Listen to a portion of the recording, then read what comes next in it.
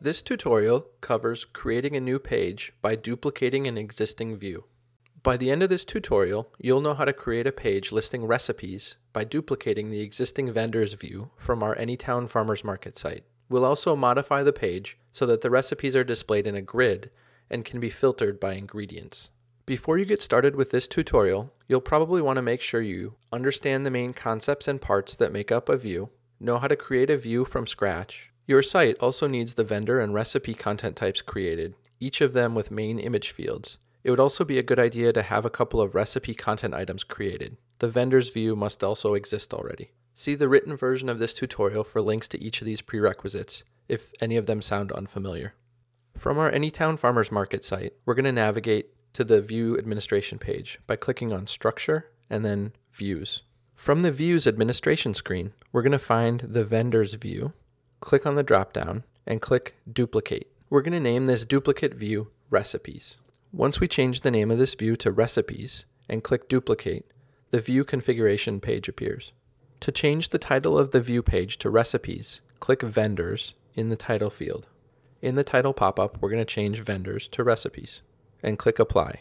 To change this view from a table to a grid format, we're going to click Table in the Format field. From the Format pop-up window, we're going to select Grid and then click Apply. After clicking apply, we get the style options pop-up window. From here, we're going to retain all of the default values, so we can just click apply. As far as the fields in our view, we only want to retain the title and image fields for our recipes view. So under the field listing, we're going to click content body under fields, and then we're going to click remove from the body pop-up. To change the content type filter to use the recipe content type, click on content type equals vendor under the filter criteria. We'll change this from using vendor to the recipe content type and click apply. To add another filter that is exposed to visitors, we'll click add in the filter criteria section. From the filter criteria pop-up, we're going to search for ingredients and we're going to check the field ingredients line and click add and configure filter criteria. This pop-up offers you the ability to choose which vocabulary and drop-down type we're going to use for the ingredients filter. We're going to use the defaults and click apply. This next pop-up allows you to expose this filter to visitors.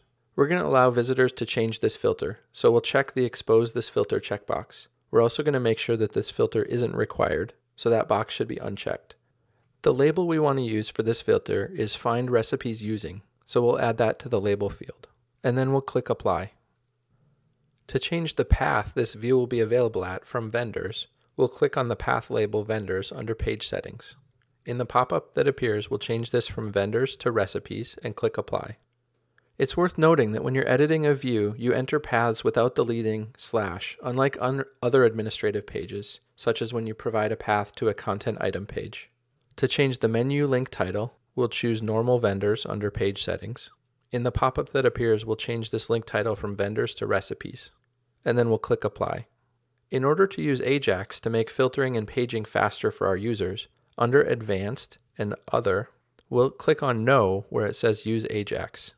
In the pop-up that appears, we'll check the checkbox that says Use Ajax and click Apply. With these changes in place, we're ready to save our view. With our recipe view saved, we're ready to go back to the home page. Now we can see our recipes menu item that's been added, so we can click recipes in the navigation to view our recipe view landing page.